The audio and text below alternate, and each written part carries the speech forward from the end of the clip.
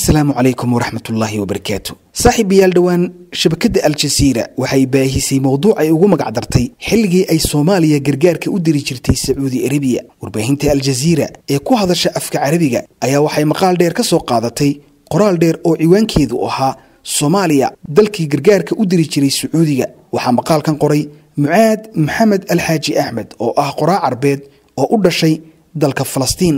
Maqaalkani waxa uu ku bilaabmayaa sharaxaad ku aadan xaaladda soomaaliya ee maanta. Oo waxa uu leeyahay waxaa laga maqlaa dalkaasi keliya dhibaatooyin sida burcadbadeed hogaamiyaal kooxeed kooxo hubaysan dembiilayaal hubaysan oo waa ay adag tahay buu yidhi in maanta wax wanaagsan laga maqlo soomaaliya. Balse taa beddelkeeda waxa uu barbar dhigayaa qoraalkiisa wejigii wanaagsanaa iyo taariikhdii ay soo martay soomaaliya. Qoraagani waxa uu sheegay in inkastoo horumar la taaban karo uu jiro haddana waxaa weli maskaxda dunida ku qufulan dhibaatada ka taagan soomaaliya oo intooda badan soomaaliya tusaale ahaan u soo qaata dadka dunidu marka ay ka digayaan in dal kale uu qaado waddada burburka balse soomaaliyada maanta wareersan ee kala tagtay dhiigga qabyaaladda dhex dabaalatay weligeed sidan ma ahaan jirin. Xornimadii kadib soomaaliya waxaa loogu yeedhi jiray switzerlanta qaaradda afrika.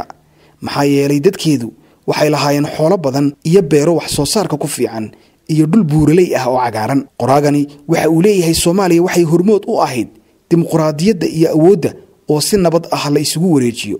Wixii ka horreeyey afgembigii maxamed siyaad barre ee dalka ka dhacay oktoobar kii qoraagani waxa uu sheegay in xilligii ay dhibaatada badan ka jirtay dhulka muslimiinta. Qofkii lagu badbaaday uu ahaa hogaamiyihii boqortooyada cadaaladda axmed ibraahim oo soomaalidu ay u taqaano axmed gurey. Wuxuu qabriga nebiga ka difaacay isbahaysi ka dhexeeyey xabashida iyo boortuqiiska kuwaas oo doonayey in ay qabsadaan magaalada madiina. Sidoo kalena doonayey inay qaataan qabrigii nebiga nabadgelyo iyo naxariisii korkiisa ha ahaatee si ay ugu gorgortamaan magaalada qudus oo ay muslimiintu haysteen. Ugu dambayntii axmed gurey waxaa u suurta gashay buu yidhi qoraagani inuu ka guulaysto oo uu dilo hogaamiyihii boortuqiiska waa ninkii ay walaalaha ahaayeen.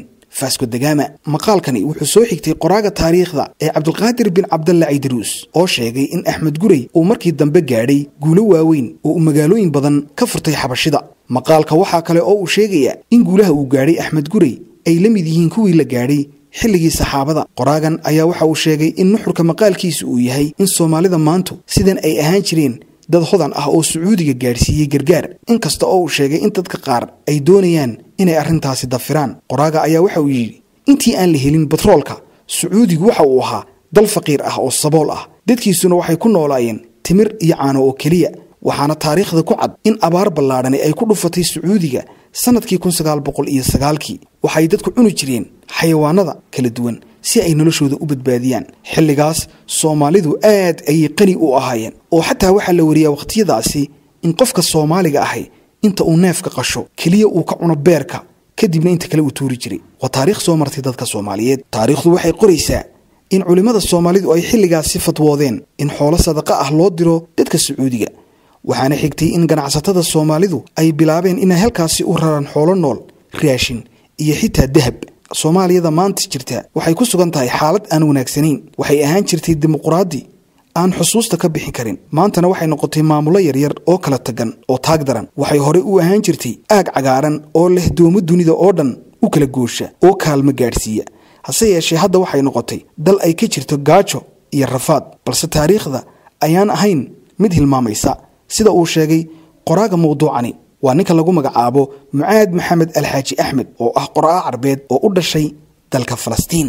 Mowduucaasina halkaas aynoo joogo. Assalaamu calaykum waraxmatullaahi wabarakaatu